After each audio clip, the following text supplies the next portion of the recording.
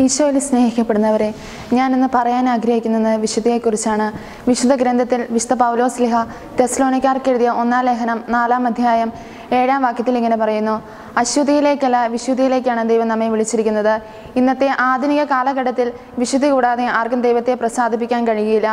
അശുദ്ധിയുടെ മാർഗം സഞ്ചരിച്ച് വിശുദ്ധിയുടെ പടവുകൾ ചവിട്ടിക്കേറിയ അനേകം പുണ്യാന്മാക്കളുണ്ട് അതിന് ഏറ്റവും വലിയ ഉദാഹരണമാണ് വിശുദ്ധരിൽ വിജ്ഞനും വിജ്ഞനിൽ വിശുദ്ധനും എന്നറിയപ്പെടുന്ന വിശുദ്ധ അഗസ്റ്റിനോസ് മുപ്പത്തിമൂന്ന് വർഷക്കാലം ലോകത്തിന്റെതായ പാപങ്ങളിൽ വഴുതി വീണ് വിവാഹം കഴിക്കാതെ ഈശ്വരദത്തൻ എന്ന കുട്ടിയുടെ പിതാവുമായി അമ്മയായ വിശുദ്ധ മോണിക്ക പുണ്യവതി നിറകണ്ണുകളോട് എന്നും പ്രാർത്ഥിക്കുമായിരുന്നു.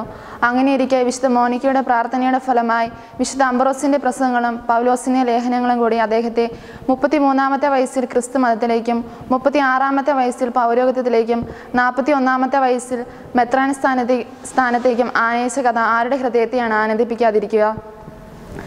വിശുദ്ധ അഗസ്റ്റിൻ നൂറ്റിമൂന്ന് പുസ്തകങ്ങൾ എഴുതിയിട്ടുണ്ട്. ജ്ഞാനത്തിന്റെ പുസ്തകത്തിൽ ഇപ്രകാരം പറയുന്നു വിശുദ്ധമായവ വിശുദ്ധിയോടെ ചെയ്യുന്നവർ വിശുദ്ധരാകും. നാം ഏതൊരു കാര്യം ചെയ്താലും കടമയ്ക്ക് വേണ്ടി ചെയ്യാതെ അത് നാം വിശുദ്ധിയോടും ദൈവമഹത്വത്തിനും വേണ്ടി ചെയ്യണം. ഫ്രാൻസിസ് മാർപ്പാപ്പയുടെ ആനന്ദ ചാക്ലാദിക്യം എന്ന ചാക്രിക ലേഖനത്തിൽ വിശുദ്ധി എന്താണെന്ന് പാപ്പ നിരവധി കാര്യങ്ങൾ പറയുന്നുണ്ട്. അവയാണ് ശാന്തതയോടെ വിനയത്തോടും കൂടി പ്രതികരിക്കുക അതാണ് വിശുദ്ധി. കാരുണ്യത്തോടെ കാണുകയും പ്രവർത്തിക്കുകയും ചെയ്യുക അതാണ് വിശുദ്ധി. നമുക്ക് ചുറ്റും സമാധാനം വിധിക്കുക അതാണ് വിശുദ്ധി.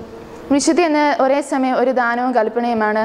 നമ്മുടെ ഹൃദയം വിശുദ്ധീകരിക്കപ്പെട്ടാൽ നമ്മുടെ ഹൃദയത്തിൽ വസിക്കുന്ന ദൈവത്തെ കാണാനും അനുഭവിക്കാനും സാധിക്കുകയുള്ളൂ. വിശുദ്ധി കൂടാതെ ആർക്കും ദൈവത്തെ പ്രസാദിപ്പിക്കാൻ സാധിക്കുകയില്ല എന്ന് എന്നതിനർത്ഥം നമ്മുടെ ഹൃദയത്തിൽ വസിക്കുന്ന ദൈവത്തെ നമുക്ക് ദർശിക്കണമെങ്കിൽ ഹൃദയം ശുദ്ധീകരിക്കുക എന്നതാണ്.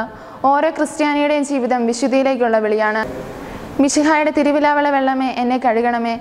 ഹൃദയശാന്തതയും എളിമയുള്ള ഈശോയെ എന്റെ ഹൃദയം അവിടുത്തെ ഹൃദയം പോലെ ആക്കണമേ തുടങ്ങിയ പ്രാർത്ഥനയിലൂടെ വലിയ വിശുദ്ധീകരണം നടക്കുന്നു.